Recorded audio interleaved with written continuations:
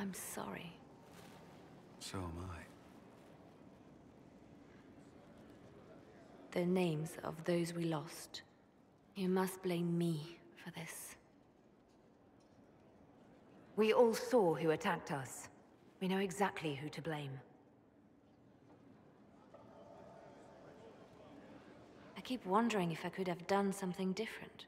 When the first of my lookouts went missing, I pulled the rest back, awaiting more information. If they'd stayed in the field, they could have bought us more time.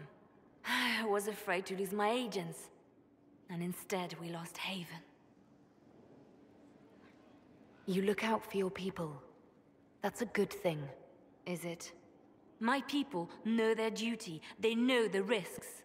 They understand that the Inquisition may call upon them to give their lives. Our people aren't tools to be used and discarded. Your instincts were right. Their lives matter. Can we afford such sentimentality? What if Corypheus... We're better than Corypheus.